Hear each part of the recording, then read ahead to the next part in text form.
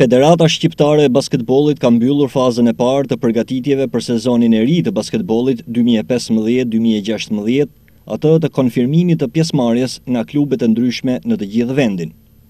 Afati i fundit ishte data tridhjetë e një gusht dhe në sezonin e ri, që pritet të nisë më dy tetor, Durrësi do të përfaqësohet me skuadrën Teuta Basket në Superligë, Ndërkohë që është shtuar edhe skuadra Goga Basket në Kategorinë e Parë.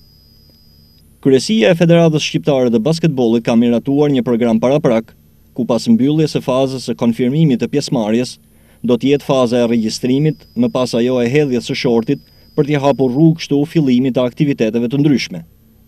Sezonin e kaluar, skuadra e vetme e qytetit të Durrësit, Teuta Basket, militoi në Kategorinë e Parë, ku pas një loje shumë të mirë dhe rezultateve pozitive, arriti të shpallej kampion, duke fituar në këtë mënyrë të drejtën për të luajtur mes skuadrave elitare të vendit.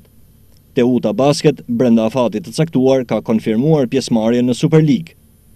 Sipas të gjitha gjasave, struktura e sezonit të ri dy mijë e pesëmbëdhjetë dy mijë e gjashtëmbëdhjetë të basketbollit do të jetë po ajo e sezonit të kaluar. Kështu, Superliga do të ketë gjashtë skuadra të cilat do të ndeshen me njëra-tjetrën për garën e titullit kampion. Shorti se si do të zhvillohen ndeshjet do të mësohet më tetëmbëdhjetë shtator.